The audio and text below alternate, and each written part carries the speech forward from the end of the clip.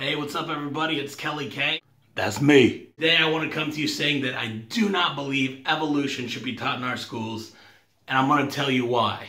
What did he just say? Or we should at least add the teaching of creation to our public schools as well. I believe that if one religion is going to be taught, Why not two? first let me explain that evolution is not a scientific fact. If it was a fact, then yes, I agree, we should teach it to children in our schools, but it's not. First, let's explain what you have to believe if you're going to say evolution is correct.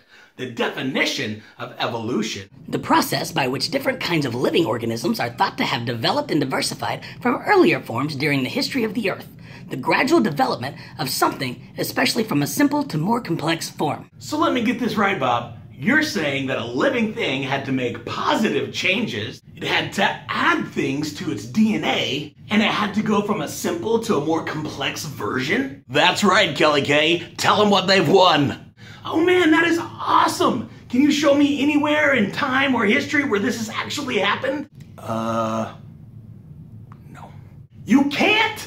Why not? Because it's never happened. So you're really saying evolution is just a theory.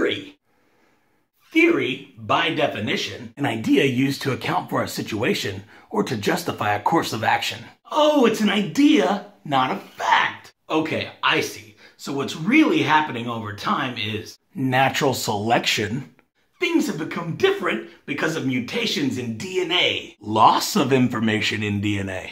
That's why over time we see changes in people, animals, and plants. That is called natural selection. So essentially, evolutionists are wanting to see X-Men. They're getting pretty bummed out when all they get is the mask. The Rocky Dennis story, not the Jim Carrey movie. I've researched on my own and talked to many evolutionists, and I've never found anywhere, anytime, anything adding positive information to its DNA to become a new creature. What about that bacteria that evolved to become immune to antibiotics?